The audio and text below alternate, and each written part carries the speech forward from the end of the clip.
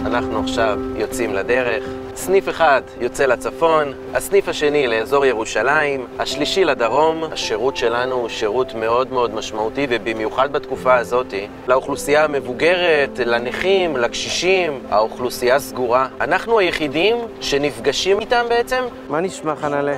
בואי, מה אנחנו רוצים, חנלה? אין בעיה. וזה התדפיס שלך, בסדר? 200, 300. אבל הבן מגיע לעזור, לא? עכשיו אני שלמה. עכשיו אי אפשר, נכון. מודדים חום, מרווח של שתי מטר, בכנות. אני מאוד מרוצה מהשירות. יאיר, שים לב, זה התדפיסים שלך, זה המזומנים וזה המתנה.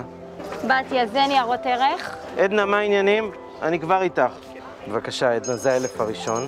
היום, בגלל הקורונה, אין מה לדבר. זה שירות פשוט מציל אותנו. מציל אותי, אין לי כסף. פה אני יכולה להוציא כסף. גאווה שיש כאלו גופים שנותנים שירות במדינה שלנו בעת צרה. אתה מתרגש תוך כדי העבודה, אבל בסוף היום אתה מגיע הביתה עייף, אבל עם תחושת סיפוק אדירה.